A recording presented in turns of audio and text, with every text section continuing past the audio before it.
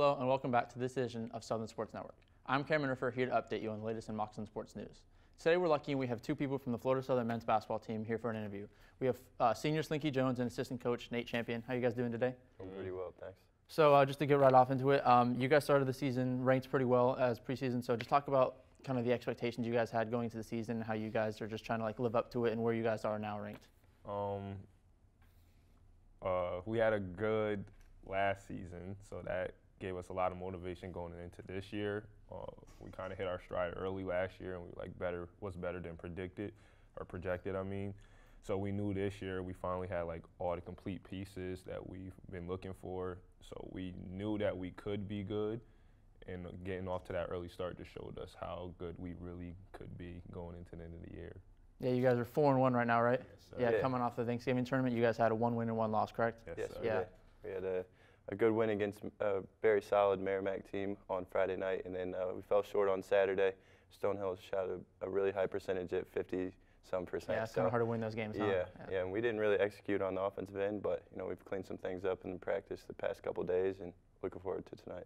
Yeah, so tonight, yeah, we play rival Tampa. Um, what do you guys try to see as a coach? What do you want to see, like an intensity level from your players, and then as a as a player, what do you want to see from the fans? I think uh, just a complete focus for 40 minutes tonight.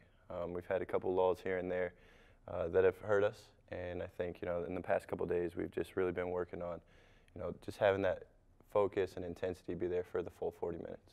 you know, piggyback on that, we've haven't had a complete game yet. Like we've had a good first half, fall off on the second half, or a good second half, get off to a bad start. So tonight we're just looking to have a complete game, get off early, and keep it going through the second half. Yeah, and it should be a big game. I'm sure a lot of people will be. I mean, it's a home game against Tampa, first one of the year. I'm sure the whole crowd will be going insane. So I'm sure you guys will feed off of that, right? Yes, yes. Yeah. And then also, um, just kind of talking about at the beginning year, you guys played UF. Um, what, how, like, what was that experience like, and how have you used that as like playing against a Division One team to kind of fuel, like, how you guys should be at a competition level and the difference of just competition and intensity? I mean, it was a great experience for us. Um, we got going after a couple minutes. I feel like we was giving them like we was praising them too much, Mhm. so we were like getting down on ourselves. But then when we seen like they're just basketball players like Yeah. us, we can play with them. We were doing really well. Um, the score might not reflect that, but it gave us a lot of confidence going into this year. And like I said, we got off to a good start. We feel good in practice. I mean, with our one loss, I feel like it's a humbling experience for Yeah. us. But with all that being said, I feel like that Florida game really gave us a lot of confidence going into the season. And I think too, you know, with the Florida game, it was something that we had worked our program up to. So last That's year true, we kind of hit our stride, and we made a good run at the end of the year last year, just into the playoffs and into the second round of the NCAA tournament. And we returned our starting five, and we brought some younger guys in, but you know we have a lot of experience. And then to go up there and to really play with Florida for the 28 minutes that we did. I mean, they started out and they were beating us pretty good, but you know for a good stretch of the game we were even with them. So. Um, and that kind of gives us confidence going forward. And I think for these guys and, and for the rest of the team, it's just a good experience. Yeah. And it shows, you know, just keep doing the things that we can do and, and the, do the things we can control. And then if we do that, we'll, we can play with just about anybody. And then you mentioned experience. Slinky, you're a senior this year. So um, just trying to talk about with being a senior and having that experience, just talking about like your leadership role and then also being that this would be your last year, talk about how you're trying to enjoy each moment of each game and just kind of not let it just slip by you and go like that. Yeah, it's real bittersweet. Um, yeah. Since freshman, I've been looking forward to this year, and now that's here, it's like I wish I can go back. But um, I just take everything that I've been through and try to give it to the younger kids, like the freshmen. I try to keep them on the right path, like uh, freshman days. I know how them days get. Like I just try to keep them up and make sure their heads are up, let them know what's coming ahead for them.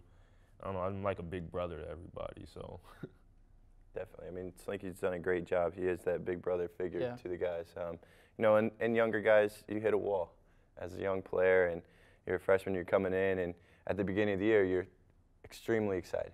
You know, and it's all then new to you, yeah. yeah, and then that constant grind it catches up to you, and you know, having someone like Slinky who's really been through it and has matured through all of it and kind of has learned and improved every year, um, he can really relate to the guys, and he does a great job of that because I think sometimes we have freshmen and and even our younger guys, our sophomores too, they get frustrated and they have a hard time sometimes dealing with just the everyday thing, Right. Which is normal, you know. So, and I think Slinky just does a great job of kind of putting her arm, his arm around him and being like, you know, it's okay, you'll get through it and you'll be better because of it.